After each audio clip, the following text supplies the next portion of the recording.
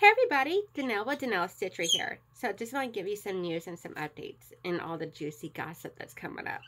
So last night I was on Tammy's channel, which is the Siberian Wind, and we done some fabric coloring. Look at this. Is this not gorgeous? And I had a lot of fun doing that with her and hanging out with her. So go check out her channel and everything. I'll link it in the description below. Um, tonight I am going to be recording my Puzzle Mystery Quilt Clue 2 for my small purple mist.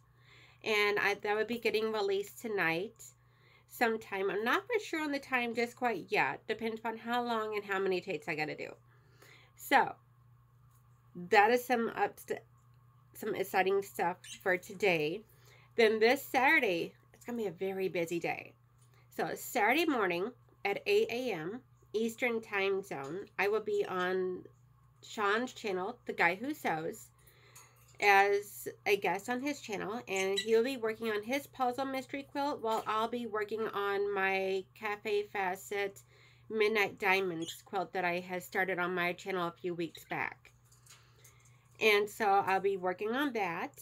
And then, and that would end roughly about 9.30 Eastern time where then I'll be going over onto my channel at 10 a.m. Eastern Time and working on that some more because I'm determined I want to get that one completed because it's going to be so beautiful. And, but I'll have a guest, a special guest on my channel that day on Saturday. And that is Sewing with Lawayne. So come hang out with us so that way that you can get to know a content a fellow content creator of mine and just we're gonna hear all about his his experience with QuiltCon and as well as just getting to know the guy and then Sunday I will be live from 10 a.m. Eastern until 11 a.m. Eastern on my channel working on Motown which is the name of my Detroit style lion legit kit. And so that way that you guys can hang out with me while I get busy working on that. Because I've not worked on that in quite some time. And I need to get that taken care of. Because he is being truly neglected. And it's not fair to Motown at all.